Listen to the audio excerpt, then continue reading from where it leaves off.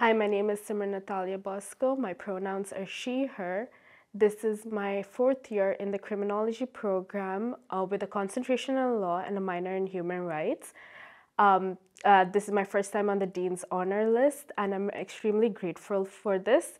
My tip or advice for students who want to be a part of the Dean's Honor List is don't stress. The first semester or two can be hard, and as an international student, can be harder.